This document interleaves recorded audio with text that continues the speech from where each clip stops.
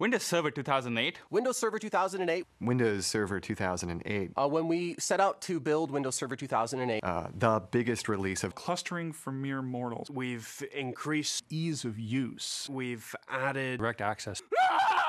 security, reliability, f- f- performance, The renaissance of, of the command line, direct edit, automation. a brand new administration stack. make it modular, You won't have to worry about the data again. The performance really rocks. really reduce the amount of time it takes to resolve problems. Go home early. Failed request tracing. Yeah, when I say that our product group listens to customers, I actually mean it. How do we make sure that Windows is rock solid and that you can bet your business on it? That's what excites me most. Security, Quality. reliability, Quality. f- f- performance. If things aren't right, then I actually take that a little personal. I love those guys. It's beautiful. I live for SharePoint. Server manager.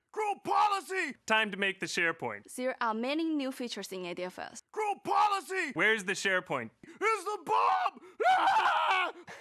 is that yeah? Is that enough? Yeah, I'm me. I did it. Mom, mom, it's me. I did it. I created it. Rocks.